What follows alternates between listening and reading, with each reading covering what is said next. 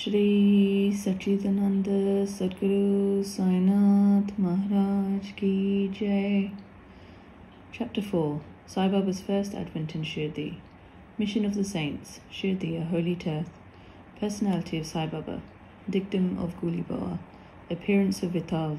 Shirsuga's story, Das Ganu's bath in Prayag, Immaculate Conception of Sai Baba, and his first advent in Shirdi, three Wadas. In the last chapter, I described the circumstances which led me to write Sai Satcharita. Let me now describe the first advent of Sai Baba in Shirdi. Mission of the Saints. Lord Krishna says in Bhagavad Gita, chapter 4, 7 to 8, that whenever there is a decay of dharma, righteousness, and an ascendancy of unrighteousness, I manifest myself, and for the protection of the virtuous, the destruction of the vicious, and for the establishment of righteousness, I manifest myself in age after age. This is the mission of Lord, and the sages and saints, who are his representatives and who appear here at proper times, help in their own way to fulfill that mission. For instance, when the twice born, i.e., the Brahmins, the Kshatriyas, and the Vaishyas, neglect their duties, and when the Shudras try to assert the rights of the higher classes, when spiritual preceptors are not respected but humiliated, when nobody cares for religious instructions, when everybody thinks himself very learned, when people begin to partake of forbidden foods and intoxicating drinks, when under the cloak of religion people indulge in malpractices, when people belonging to different sects fight amongst themselves, when Brahmins fail to do Sandhya adoration, and the Orthodox their religious practices, when yogis neglect their meditation, when people begin to think that wealth, progeny, wife are their sole concern, and thus turn away from the true path of salvation, then do saints appear and try to set matters right by their words and actions. They serve us as beacon lights and show us the right path and the right way for us to follow. In this way, many saints, viz. Nivritti, Janadev, Muktabai, Namdev, Gora, Gonai, Ekanath, Tukaram, Narahari, Narsibai, Sajan Kasai, Sawata, Ramdas, and various others did appear at various times to show the right path to the people, and so presently came Sri Sai Baba of Shirdi.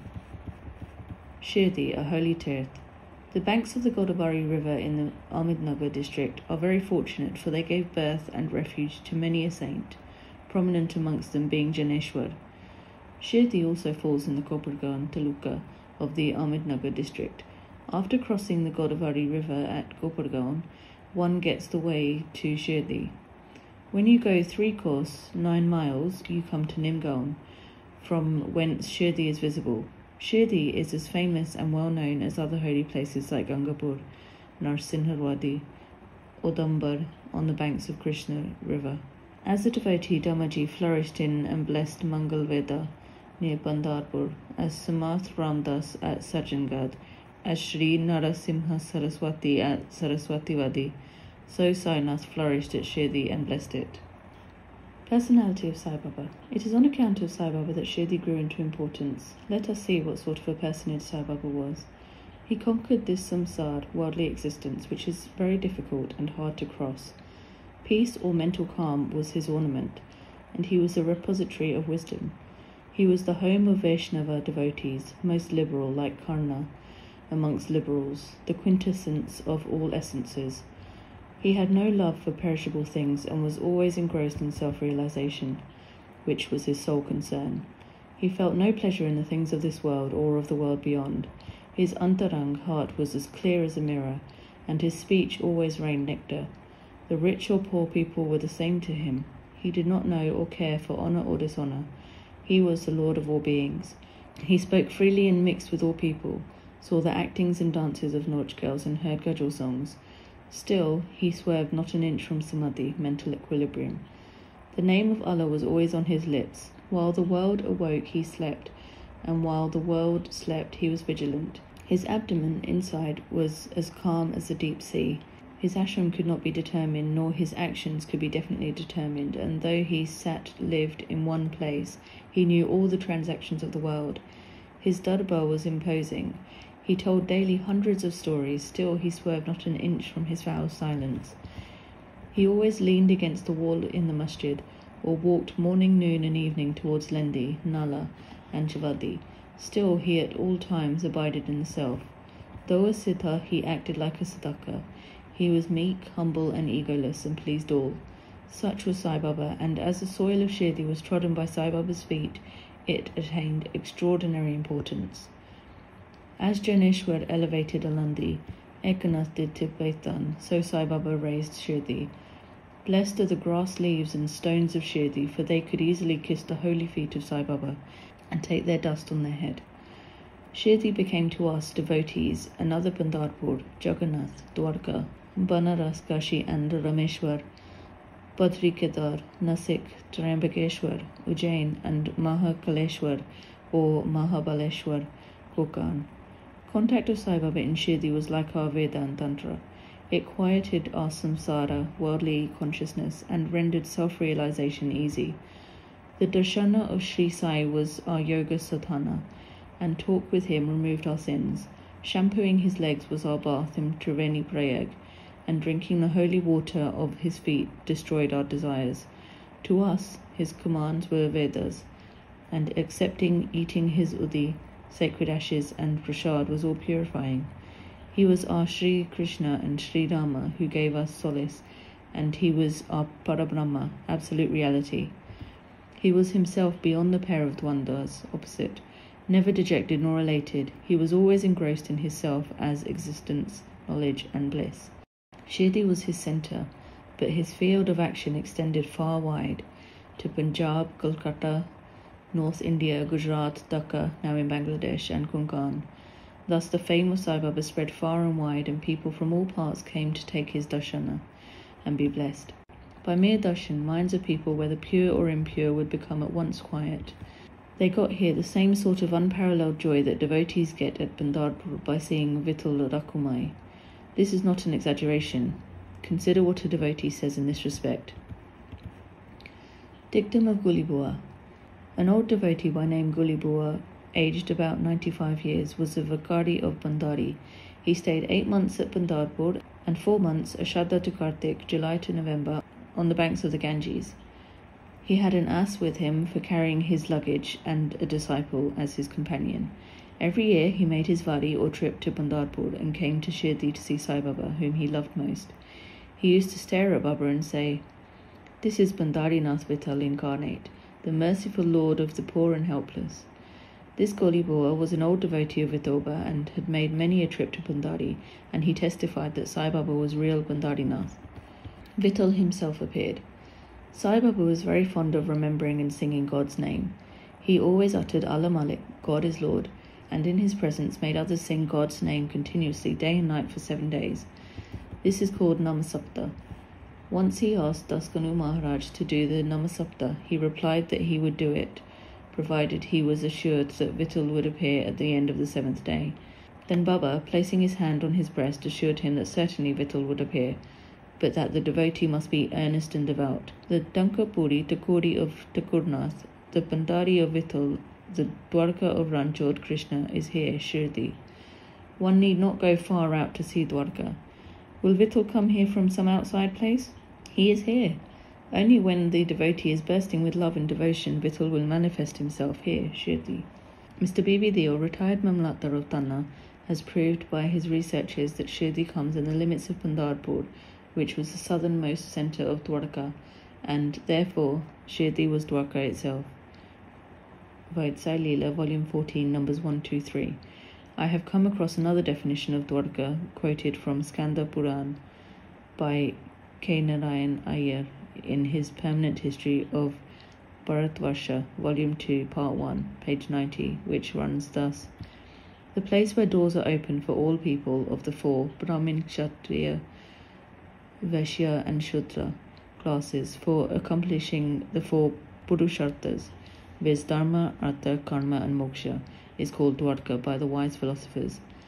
Baba's masjid in Shirdi was not only open to the four classes but to the depressed untouchables, lepers, etc., like Bhagoji Shinde, and therefore it is very appropriately styled Dwarka.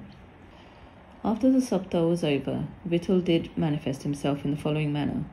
Kakasai Dixit was, as usual, sitting in meditation after the bath, and he saw Vittal in a vision. When he went at noon for Baba's darshana, Baba asked him point blank, Did Vittal Patel come? Did you see him? He is a very truant fellow. Catch him firmly, otherwise he will escape if you be a little inattentive. This happened in the morning, and at noon there was another Vittal Darshana. One hawker from outside came there for selling twenty-five or thirty pictures of Vithoba. This picture exactly tallied with the figure that appeared in Kakasahib's vision. On seeing this and remembering Baba's words, Kakasahib Dixit was much surprised and delighted. He bought one picture of Vithoba and placed it in his shrine for worship.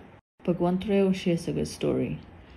How fond was Baba for Vittal worship was illustrated in Bhagwantrao Shirsaga's story. The father of Bhagwantrao was a devotee of Vithoba and used to make Varis annual trips to Pandharpur. He also had an image of Vithoba at home which he worshipped. After his death, the son stopped everything the Vari, the worship, and Shraddha ceremony, etc. When Bhagwantrao came to Shirdi, Baba, on remembering his father, at once said, His father was my friend, so I dragged him, the son, here.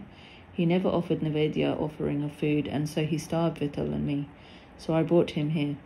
I shall remonstrate him now and set him to worship. Das Ganu's bath in Prayag. The Hindus think that a bath in the holy tirth of Prayag, where the Ganga and Yamuna meet, is very meritorious, and thousands of pilgrims go there at periodical times to have the sacred bath there. Once Das Ganu thought that he should go to Prayag for a bath, and came to Baba to get his permission for doing so. Baba replied to him, It is not necessary to go so long. Our Prayag is here, believe me. Then, wonder of wonders, when Das Ganu placed his head on Baba's feet, out came or flowed streams of Ganga Yamuna water from both the toes of Baba.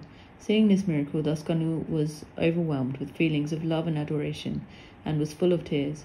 Inwardly he felt inspired, and his speech burst forth into a song in praise of Baba and his Leelas. Immaculate Conception of Sai Baba and his first advent in Shirdi. Nobody knew the parents' birth or birthplace of Sai Baba. Many inquiries were made, many questions were put to Baba and others regarding these items, but no satisfactory answer or information has yet been obtained. Practically, we know nothing about these matters. Namdev and Kabir were not born like ordinary mortals. They were found as infants in mother of pearls. Namdev being found on the bank Bhimarathi river by Gonai, and Kabir on the bank Bhagirathi River by Tamal. Similar was the case with Sai Baba. He first manifested himself as a young lad of sixteen under a neem tree in Shirdi for the sake of bhaktas. Even then he seemed to be full with the knowledge of Brahma. He had no desire for worldly objects even in dream. He kicked out Maya, and Mukti, deliverance, was serving at his feet. One old woman of Shirdi, the mother of Nana Chopdar, described him thus the young lad, fair, smart, and very handsome, was first seen under the neem tree, seated in an asan. The people of the village were wonderstruck to see such a young lad practicing hard penance, not minding heat and cold. By day he associated with none, by night he was afraid of nobody. People were wondering and asking whence this young chap had turned up. His form and features were so beautiful that a mere look endeared him to all. He went to nobody's door, always sat near the neem tree, Outwardly he looked very young, but by his action he was really a great soul. He was the embodiment of dispassion and was an enigma to all. One day it so happened that God Khandoba possessed the body of some devotee, and people began to ask him, Deva, God, you please inquire what blessed father's son is this lad, and whence did he come? God Khandoba asked them to bring a pickaxe and dig in a particular place. When it was dug, bricks were found underneath a flat stone. When the stone was removed, a corridor led to a cellar where cow-mouth shaped structures, wooden boards, and necklaces were seen. Khandoba said, This lad practiced penance here for twelve years. Then the people began to question the lad about this. He put them off the scent by telling them it was his guru's place, his holy vatan, and requested them to guard it well. The people then closed the corridor as before. As Ashwatha and Adambar trees are held sacred, Baba regarded this neem tree equally sacred and loved it most. Mhalsapati and other Shirdi devotees regard this site as the resting place, Samadhi Sthana of Baba's Guru, and prostrate before it. Three Wadas. The site with the neem tree and surrounding space was bought by Mr. Hari Vinayak Sathe, and on this site a big building styled Sathe's Wada was erected. This Wada was the sole resting place for pilgrims who flocked there. A barred platform was built round the neem tree, and lofts with steps were constructed. Under the steps there is a niche facing south, and devotees sit on the barred platform facing north. It is believed that he who burns incense there on Thursday and Friday evenings will, by God's grace, be happy. This wada was old and dilapidated and wanted repairs. The necessary repairs, additions, and alterations have been made now by the Sansthan. Then, after some years, another Wada, Dixit's Wada, was constructed. Kaka Sahib Dixit, solicitor of Bombay, had gone to England. He had injured his leg by an accident there. The injury could not be got rid of by any means. Nana Sahib advised him to try Sai Baba. So he saw Sai Baba in 1909 AD and requested him to cure rather the lameness of his mind than that of his leg. He was so pleased with the darshana of Sai Baba that he decided to reside in Shirdi, so he built a wada for himself and other devotees. The foundation of this building was laid on the 10th of December 1910. On this day, two other important events took place. One, Mr. Dadasaheb Gawadi was given permission to return home, and two, the night arti in Chavadi was commenced. The wada was complete and was inhabited on the Ramanavami day in 1911 AD, with due rites and formalities. Then another wada or palatial mansion was put up by the famous millionaire Mr. Bhuti of Nagpur. Lots of money was spent on this building, but all of the amount was well utilized as Sai Baba's body is resting in this wada, which is now called the Samadhi Mandir. The site of this mandir had formerly a garden, which was watered and looked after by Baba. Three wadas thus sprung up where there was none formerly. Of these, Sathe's wada was most useful to all in the early days.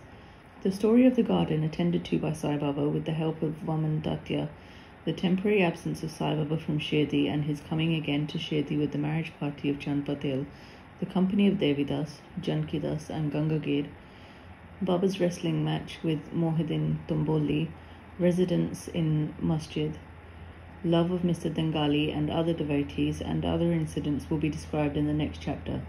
Bow to Sri Sai, peace be to all. Shri सच्चिदानंद सतगुरु साईनाथ महाराज की जय।